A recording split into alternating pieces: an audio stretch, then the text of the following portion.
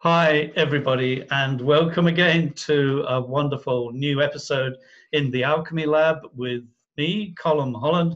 I'm the author of a book called The Secret of the Alchemist.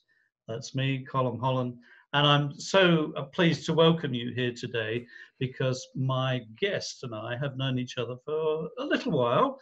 And um, she very, very kindly invited me on her podcast not so long ago and I'm thrilled that to be able to return the compliment. Um, let's say a very, very, very quick hello to Kelle Sparta. Hello, Kelle. Um, Hi, Colm. Lovely to see you today. Um, and for those of, of, you who are not familiar with Kelle, um, we met because we share something that is very close to the real heart of alchemy, and that is everything to do with transformation the personal um, transformation that um, is is really engineered and encouraged by unconditional love permeating our lives. And Kelle, I have to say, has been a practitioner of this a lot longer than I have. Um, so I'm, I'm really hoping to learn um, learn from Kelle today. So if, if you're not familiar with Kelle, I'm going to introduce her quickly. Um, she, um, her clients call her the Shama Mama. Um, and I think it's because her, her caring and nurturing energy just oozes out from whenever, whenever I speak to her. And also, um, I have met several of her clients, and yes, they agree that um, she offers a lot of compassion and nurturing love. So, um, she identifies herself, however, as a daring adventurer, a comic, uh, sorry, a comic, a cosmic. sometimes comic. Sometimes yes. comic. cosmic, yes, girl. Um, healer, psychic, channel, medium, empath, lifelong entrepreneur, which is quite unique um, to have all these things combined.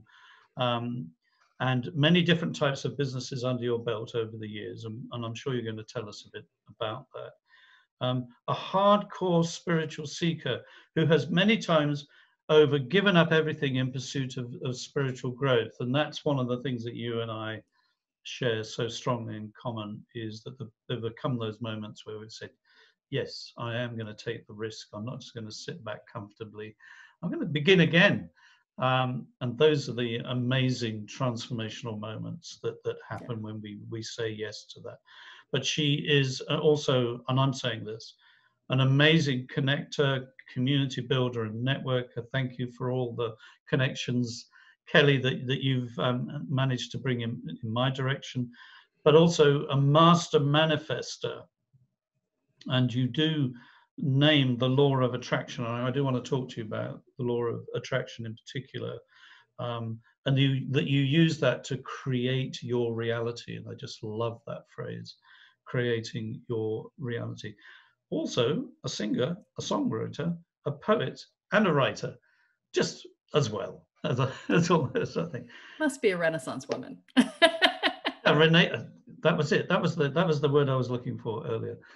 Thank you for coming on my uh, podcast. Thanks for coming into the Alchemy Lab. We've got a few concoctions going on over in the corner here, um, which we'll talk about later.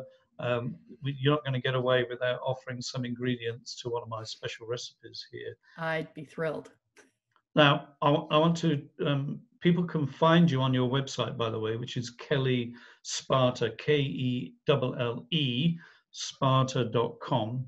Um, and on there, you say that you can help people by showing them how to finally break free from your challenged childhood and learn to love yourself magically with a C and a K. Um, how to claim your space, how to set your boundaries, own your power, and never have to ask for validation ever again.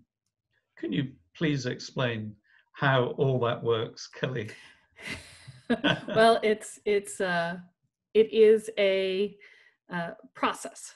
obviously because you know when you when you start out in a challenged childhood and, and let me just define challenged childhood for a second because a lot mm. of people are like well what does that mean what it means is that you felt un, emotionally unsafe sometimes phys- some people will be physically unsafe too but emotionally unsafe is the critical factor uh, in your childhood mm. and so that could be that you had overly critical parents narcissistic parents alcoholic parents neglectful parents uh, you know any any number of reasons. You could have been the black sheep of the family. There's a lot of reasons why you can feel emotionally unsafe. You could be a military brat like i was and move all the time and then be you know the the new kid in town and picked on and bullied and that would do it too you know all of those things. And so needless to say based on what i've just said there's a lot of people who fit that criteria right? Sure. and so you know when you do that what happens is there's this whole uh, tapestry of coping mechanisms that come into play mm-hmm. and they they get woven together like a safety blanket around you in your childhood and and they keep you safe in your dysfunctional environment but over time you've got this thing wrapped tight around you but you keep growing and it gets tighter and tighter and tighter and hmm. eventually you leave your dysfunctional environment and now you're living in the straitjacket of your coping mechanisms oh, I love and they're that. no longer functional right yes and yeah and so the the key there is you have to the what happens is people go looking for a solution and they try to pull a thread at a time. They take a class here and read a book mm-hmm. there and whatever. Mm-hmm. and the problem is is that it's a tapestry. It's it's woven cloth. So you pull one thread it's only going to pull so far before it snags on everything else right?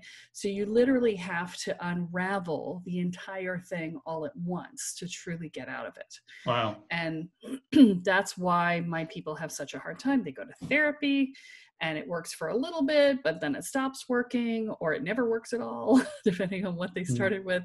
Um, and, and a lot of that's because most therapy uses the Socratic method.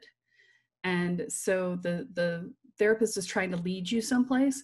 But when the therapist is looking at the world from a very different perspective than you are, which they always are in this scenario, then their directions aren't going to make any sense. And my clients tend to get really frustrated. And they're like, just give me the answer you're trying to get me to because I don't know where you're going. And that's the difference, right? Is that um, I, I give people the answer because I understand that they don't see the world the same way. And I'm like, look, here's the deal. I know that you see the world this way, but let's turn your perspective upside down and hmm. sideways mm. and and let me get you to the point where you see the world the way everybody else does and then the world will make more sense to you and you will be less hurt by it and that is huge right and not to say that i don't have people come to their own conclusions on things because there is a lot of that but for the perspective piece it literally you just need to be told no this is this is not this way. I know you see it this way but it's this way. And and then your brain goes huh what? And you're just like oh i can't figure your brain hurts while you're trying to put everything into context again. You're just like ah. And then then it clicks and you go oh i get it. And and suddenly everything changes and it cascades it cascades out. So um, it's a combination of factors. You know, you have to unravel those coping mechanisms, you have to shift the perspective. But in the end, the the goal is to individuate, right? It's to to give yourself a solid foundation to feel comfortable in your own skin. And that's what allows you to to be free from all the anxiety and the worry mm. and the hmm. stress and the dread and the angst and the upset that that comes along with these coping mechanisms. So um, the other challenge that my people have is that they tend to try and pull all they tend to try and remove their triggers before they solidify as people. And that's oh, never going to work either. okay you need to explain. First of all um, you mentioned the word individuation. Mm-hmm. and now you're using the word triggers. Yes so let's just unpack some of that because I'm sure not, you know, I mean, I'm sure many of our listeners and viewers know what you mean, but for those who who maybe need a bit more clarification around that, what, what do you mean? So individuation is the process of becoming separate from others. And when we feel unsafe in our childhood, we tend to have very codependent mechanisms where we Okay. we put others ahead of ourselves. The other person becomes more important in our lives than we are. For And- example, a parent, a sibling. Yeah, so somebody who needs to be managed, right? Somebody who could get Mhm. upset and so you're you're constantly changing your way of being around them, right? And most of my people are empaths. So they feel what other people feel and they get overwhelmed by other people's strong emotions and So- that's actually a function of that codependency, but it's an energetic version of it. Okay, and codependency, just to clarify, and the, the whole name individuation comes from Carl Jung's um, theory of, of psychoanalysis of, of, of how the psyche works. Just okay, got it. Yes. Triggers. What are what are triggers? So triggers are the things that that somebody says that sends you flying. it's like somebody pushes a button and you go, "Ah!" You know, zero to 150 in five seconds flat, two seconds flat. You know, it's just and and you're way overreacting, right? You it's like somebody spilled some milk and you're just like down their throat, right? you're just like ah, and that's a trigger. It's like when your response is out of proportion to whatever it was that was done, you are triggered.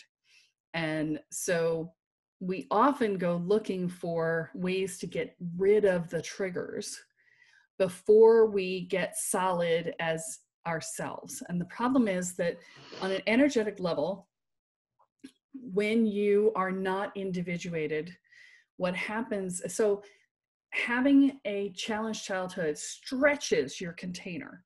So it's Mm. really actually very good for you if you're trying to do any sort of energy work.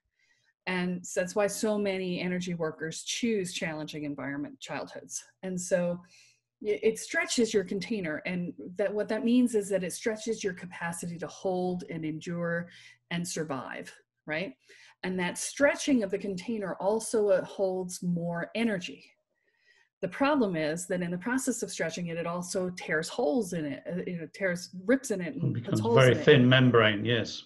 They're very thin membrane and Mm. so that creates the lack of individuation because you're constantly leaking energy and taking energy in from others. And and there's no real separation between you and other people. Yeah. and so the boundaries are are really not good. And so when you solidify the container you you solve that problem. But up until then when you're trying to do work on your triggers it just you you build the energy up and then it just all leaks out so it's really not possible to hold the energy long enough to do the work on the triggers and that's why people fail when they try to do that first and so that's why it's so important to solidify that container So where do they start? I've been listening to this. Um, I've heard what Kelle's just said. Um, wow, this is ringing some bells. Um, this all makes sense. It coincides with something I've read recently, etc., etc. Um, wh- which is step one? Uh, presumably, we got to, if we're going to go down this road of individuation, we've got to do it in baby steps. yes Um, otherwise, you know, we, we could either wreck ourselves completely uh, on the rocks. Yeah. So, what's step Which- one? yeah Where do you So- begin? so the first step is to find emotional safety okay Okay. because until you feel safe emotionally you will resist any change process Mhm. because in order to change as i'm sure you've probably told people you have to get out of your comfort zone Oh, really? I would never say that to anybody. I, I have a saying with my students i'm like if if you're not uncomfortable you're not doing anything yeah, exactly. so, um, and so, you know, when you feel uncomfortable and you're feeling also emotionally unsafe, you will defend against that discomfort and discharge all of the energy that you could use to grow Mhm. in anger and outbursts. Yeah. And so, the very first step is to find the emotional safety. And that requires addressing your fears and your worries and your judgments and your and both inner and outer judgments, right? Your Mm. dreads and your self-doubts and your and and to really start to build a sense of self-support and courage. and that process is the process of finding emotional safety um, and you know that's the very first program that i run in my in my process got it yeah it's called inner peace 101 inner peace one-on-one. And that then is the beginning of a foundation for a place of safety to go and in a way reconnect presumably then with the damaged child or yeah. children um, that live within what they live within our unconscious the unconscious part of our psyche. Um, in my book i talk about facing the dragon. Mm, are we kind yes. of talking about the same thing here if that dragon Um, is angry or it's breathing fire and it's uh, making unwelcomed visitations into Yeah. our day-to-day existence is that is that the similar thing? It's a little bit further along in the process. Okay. Um, but yeah we do cover that. It is it is part of that. Um, the the beginning phase is really more about our survival mechanisms on overdrive right. It's our self-preservation on overdrive. Sure. And so it's hypervigilance and it's you know a lot of you know the assumption that anything coming at you is an attack. And Yes. so you know it's like i'm going to attack back before it hits me. Like, oh i can't think of any politicians who behave like that. Let me just Oh, think. no, of course not. Mm, i don't know any of those. No, I I can't us think and of I, I, anybody. I can't tell you. No. so yeah but that's, okay i get how it the process works yeah. okay i get it and the and the name of the course what's the overarching name of the course Well, so it's my course comes in in three parts. So it's Inner Peace 101, Finding Emotional Safety, and then it's Mastering Spiritual Evolution, Mhm. and then Mastering Inner Healing. So in Okay. in the third part of it is we we dig out all the buttons and the triggers and the, we teach you a process of self-inquiry that allows you to be able to do the work on your own going forward. Because my goal is to to put you in a position where you don't need me anymore. That's that's always my goal is to fully empower people to to be able to process and run their own lives. And uh, ultimately this three part process is and i do it within a magical context so and, and that's oh magic oh okay now you got my So- attention.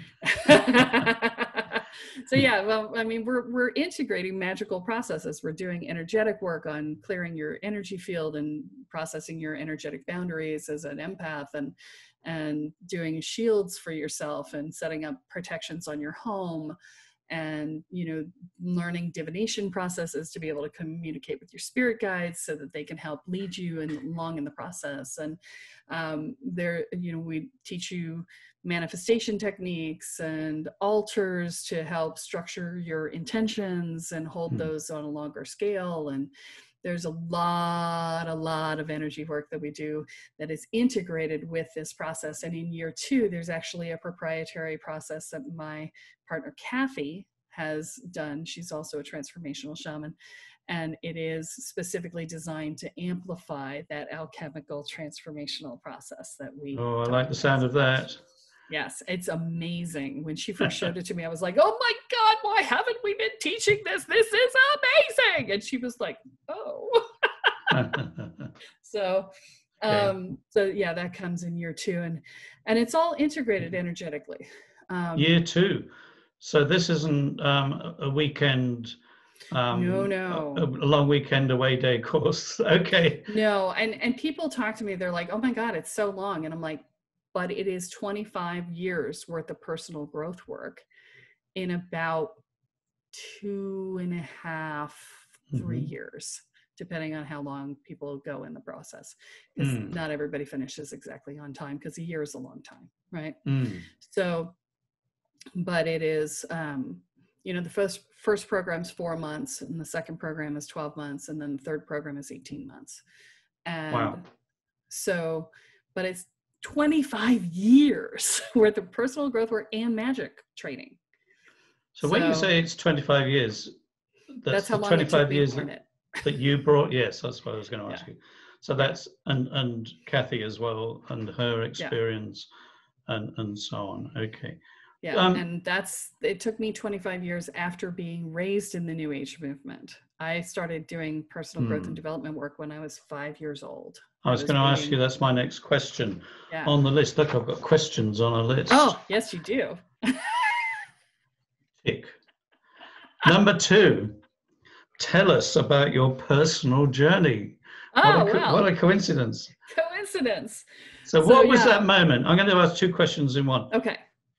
Tell us about the context of the personal journey, but within the context of the personal journey, tell us about one key transformational moment that said, This is it, this is the way it works, and this is where I decided this was going to be my lifetime destiny to share and to bring this to other people if that's possible. And you've got five minutes to do it in starting starting from now. All right, let me see what I can do. So uh, my mother no, said was... do whatever you want. Don't just ignore me. so my mother said I was talking to ghosts in my crib. She raised me in the New Age movement. She brought Est home when I was five years old, which, for those of you old enough to know, that was the precursor to Landmark. Um, and uh, I was doing self hypnosis by the age of 10, tarot cards by 12, psychic development classes, the whole nine yards. So I grew up, I was I was inculcated in this. I was just mm. steeped in it, right? And so I had a story that I was going to tell you, but you you just framed it in a different way. But I'm going to tell you this story anyway. Please. Um, so the the moment there there was one moment that was really significant for me and I had been to a, a, workshop at Harbin Hot Springs, which doesn't exist anymore. It burned down in the fires. But um, but I was out at Harbin Hot Springs, and we were doing a workshop that was not related to the the hot springs community. And so um, I I had tried to arrange for a private room because I knew I was going to be crying all weekend, and I had, and I couldn't get one. So I was in a a shared dorm space and i had taken the downstairs bed to try and be away from everybody, right? And this woman came down and woke me up and she said, You're snoring. And hmm. I said, I'm so sorry. I said, Here's some earplugs. And she wouldn't take them. I said, I brought hmm. extras, right? And she, um, and I tried to stay up for 15, 20 minutes. I was exhausted, but I tried to stay up to give her time to go back to sleep. And she came back down and she shook me again and she said, You're snoring again. You're going to have to find someplace else to be. Now, it's the middle of the night. And I hmm. looked at her and I said, You chose a shared dormitory experience. This is what it is. Would you like some earplugs? Because I'm going back to sleep. And if you touch me again, I'm going to break your hand. she was just like, I was pissed, right? Uh, and and she was like, well, and I'm like, no, you don't get to tell me I've got to leave in the middle of the night. That's not okay when there's no place else to go. I mean, it was in the middle of nowhere, right? Hmm. And um, well, there was always the bears in the woods. You could always go. yeah, something like that. Yeah. and so um, the next day, I was out with some of the friends who had been in the workshop with me, and we had uh, been in the sauna. And there was it was a four person sauna. There were three of us, and this woman who lives in the hot springs knocked on the door, and she was like, "Are you going to be much longer?" and just like really bitchy, right? And this is supposed to be a really, you know, chill retreat space, right? And she's just like, right? And we we said, well, we're going to be a while. You're welcome to join us if you'd like. I'll wait. And she stood outside, and you know, five seven minutes later, she knocks again. Are you done yet? And we were like, we told you we're going to be a while. If you'd like to join us, you are welcome to.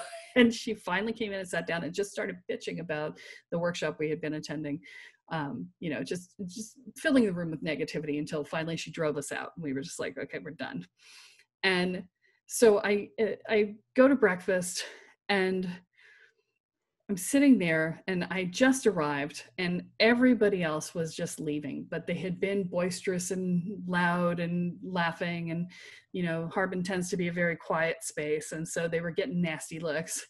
And so i sit down and they all get up and leave and now i'm getting the nasty looks and i wasn't even there. And i'm sitting there eating my oatmeal and I'm going, oh my God, I have never felt so unwelcome in my entire. And then I froze and I went, no, I have felt exactly this unwelcome my entire life. Right. And I started to cry into my oatmeal and I mm. looked at my guides and I said, mm. I get it. Right. Mm. In, in shamanic practice, we talk about the waking dream and mm-hmm, the waking mm-hmm. dream being that moment of recognizing the symbols and the patterns that are happening around you right yeah, yeah. this this place which is supposed to be so welcome and warming you know warm and, and receiving and um and, and it was just not right it's like it's it's it's out of context so it's clearly just for me right and so i'm i'm crying into my oatmeal i'm having my experience. I told my guys i get it you can stop now.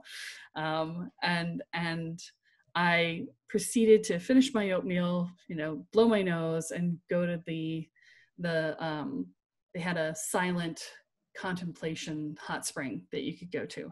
And everyone was sitting you know around the corners. And i just sat there in the pool and i was just tears just rolling down my face just releasing it releasing it releasing it and this man i don't know came over and said would you like me to float you while you process Hmm. So welcoming, right? Supportive, mm. literally, yeah. physically yeah. supportive yeah. as he's he's holding me floating in the hmm. water and cradling me in his arms while I'm processing. And I was like, yes, okay. So I did turn the corner. I did get it. My guides, you know, set me in the right direction and I'm I'm golden now, right? So yeah.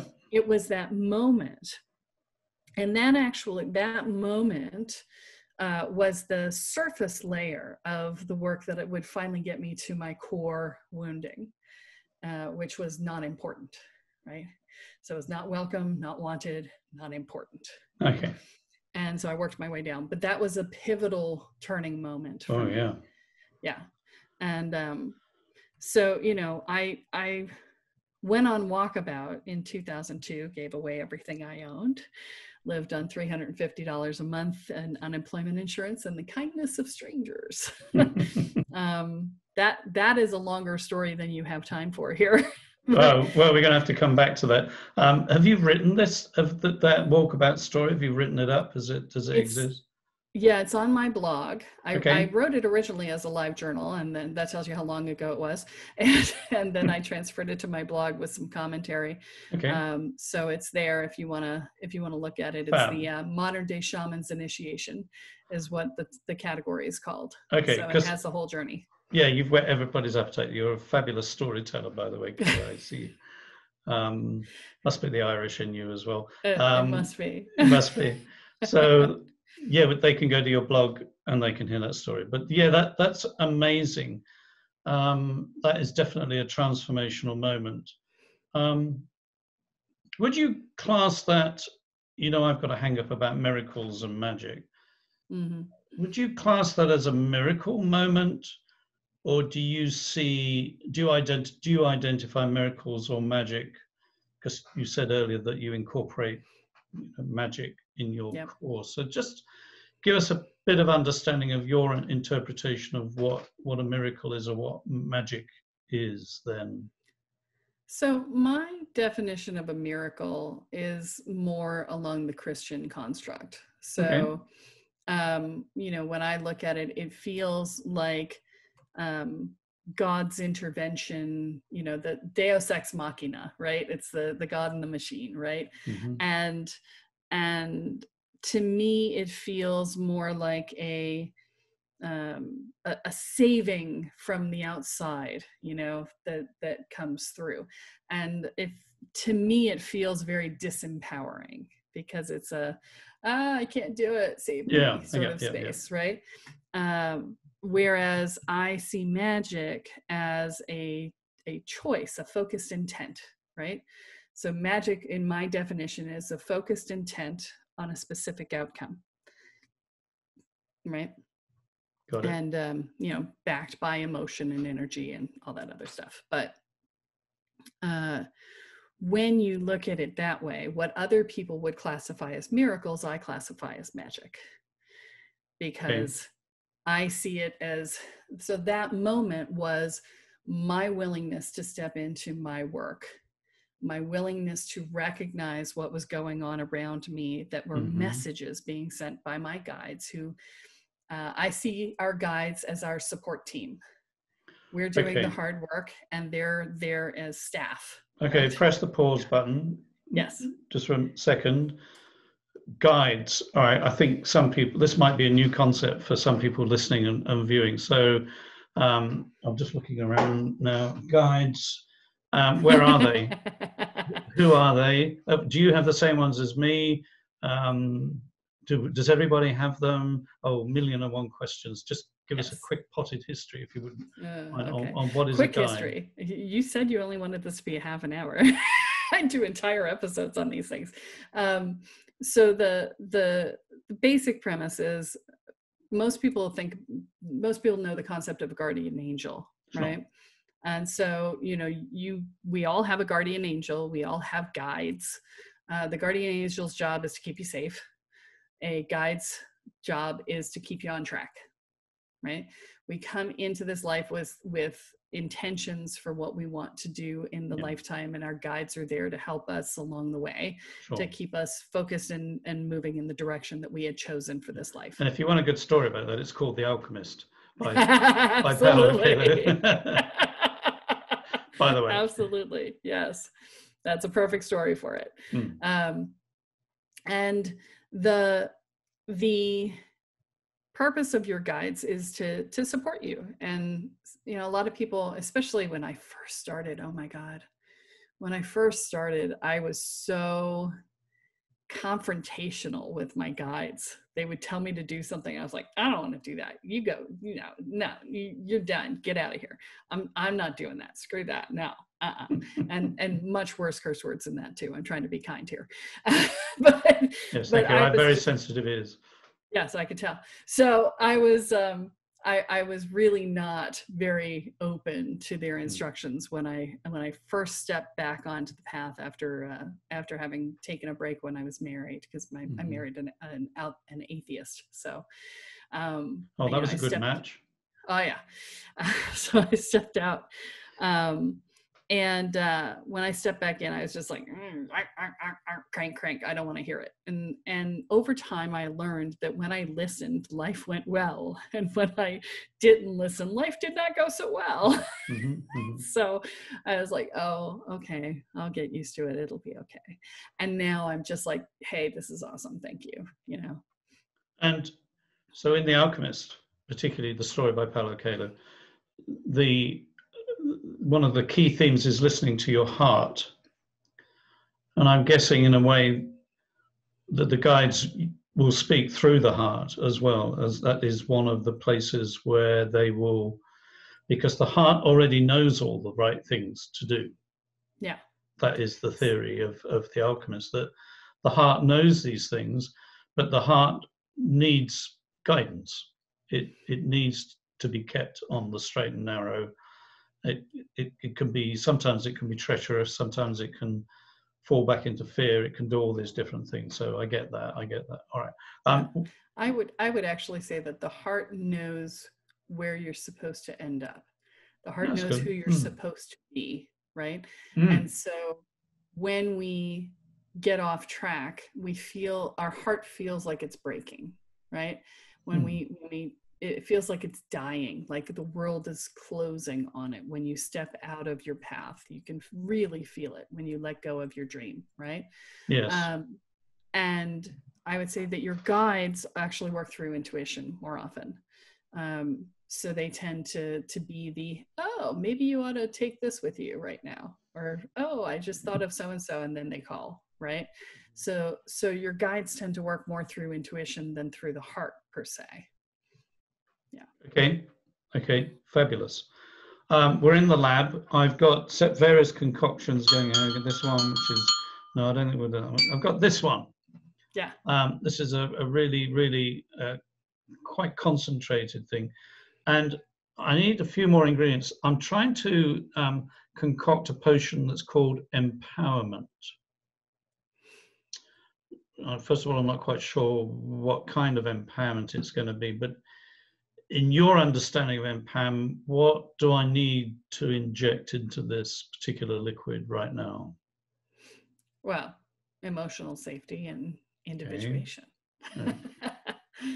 those those are the things. That's that's empowerment right there. So Right. And what yeah. is it? What is it going to look like though when when I've added those things and I've mixed them up and I've and I've drunk my potion? What? Um, how will that then manifest differently in my life going forward? What could I expect to see that I maybe didn't see before? Well, so there's a, a wide variety of things actually. It, it when you when you step into empowerment, it actually cascades across every aspect of your life. Mhm. And so uh, you don't feel afraid to confront someone about something, um, which you know sometimes that could feel before Sure. like you know, dying. You're going to and die. Yeah. Like exactly. you're going to kill them at the same time, right? It's both Mhm. and um, so you you are able to ask for help and receive help gracious, gracefully and graciously without feeling like you know you're going to be indebted forever Mhm. that you are able to feel comfortable in your own skin and there's a sense of peace that that permeates your beingness that you're not consciously anxious and worried all the time Got that you just have a trust in the universe that everything's going to work out. Even if it doesn't look so great right now like eh, it'll be fine right? There's that that trust that that things will work out and everything is as it should be. And there's a, a sense of um, feeling like you are more solid like you're not subject to the whims of other people's emotions that you are able to have your own space in the world that you don't have to give space to everyone else that you don't have to Mhm. give way for everyone else that you don't have to apologize for your existence right Mm. that you don't have to turn yourself into a chameleon to make yourself acceptable to everyone right that you can be loved for being you not for what you do Oh, I think I've heard that before. somewhere, oh no, it's not in this book. No, no, no.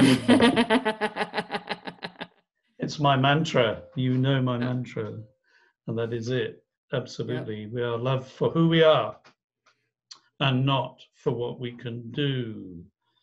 Critical. We're almost. I can't believe it. Boy, did yes. We might have to come back and do this again, Kelle, at some I- point. I- Yeah, I think. I think we. we have a lot to episode talk about episode two before too long. Um, is there a favorite quote or is there a passage from anything you've written or anything else that, that you'd love to inspire the listeners and viewers with today to, to send us away um, before they all go rushing to um, kellesparta.com and signing up for your two, three and a half year course? Um, they only have to sign up for four months. That's all Oh, okay. that's the first Oh, commitment four okay, months. four So- um, so there's a thing in uh, the law of attraction that they talk about a lot which is the cursed how right? Hmm, it's the it's the thing that people get stuck in when they're trying to do law of attraction work which is that they they know what they want but because they don't know how they're going to get there they just can't commit to it. Oh, and. Okay. they, they don't trust the process to figure it out and they're always trying to you know figure it out and engineer it right? And so this quote is for you who want to let go of the cursed hows so that you can manifest better. And and uh, it, it's one that i came up with a few years ago that i just love. It's we provide the destination and the motivation. The universe provides the navigation. Hmm. Do you want to say that again? We provide the destination and the motivation. The universe provides the navigation. So if we So, we know what we want yep, and we've got the passion to make it happen, to keep taking steps forward. Yeah. the universe will choose the route pretty much. Yes. And if we follow the path that we're given, if we keep doing the motivation, we keep taking the steps, even if we don't know what the next one is and we don't understand why this one's here. If we keep saying yes and following forward, which is where that that cosmic yes girl thing comes in. Um, if we keep saying yes and stepping forward, the universe will bring us to the thing that we've asked for. So we're all going to take a moment and say a very, very big yes everybody. Let's all do it. Yes. Let's, yes. Let's say yes today. So that's our meditation for today, everybody, is the word yes. Yes. I know where I want to go and I have the passion and commitment to get there, and I trust the universe is going to take me to exactly that spot. Kelle, I knew this was going to be awesome. I, I'm, I was not wrong, and I know we're going to get loads of comments. People are going to come pouring in saying, "Oh, when are you going to get Kelle back? Well, let's get her back, please." You know, before time. But you don't have to wait because Kelle actually has her own podcast as well which is called the Spirit Sherpa podcast. Is that correct? Yep. It's it, just Spirit Sherpa in your podcast uh, app, or whatever, you can yeah. search, or you can go to spiritsherpapodcast.com either way. Okay. Okay. Um, it's amazing. It's had 100,000 downloads, and there's a fantastic episode on there where she's interviewing somebody called Colm Holland. I, oh, Absolutely. I, I can't recommend. and it was so good. We did a double double length episode because we a just couldn't stop episode. talking. That's just why like I need to have you back. he wouldn't. He just wouldn't shut up. That was the. I just wouldn't let him shut up. There's a difference. always, always a pleasure, Kelle thank you so much. Um, sending lots of love and blessings for your work, your amazing ministry. Thank you, thank you from on behalf of everybody. Um, I've met people who've been on your course and they they cannot stop saying enough wonderful things about you. So um, this is awesome. Thank you for taking the time out today uh, and, and sharing those thoughts. And thank you everybody for joining us and listening in and watching um, this episode of the the Alchemy Lab. And I'm just going to say cheers everybody. I'm just going to take my um, my my potion of empowerment. Um, i hope you now know how you can create your own potion of empowerment. Thanks everybody. Thanks for listening. See you next time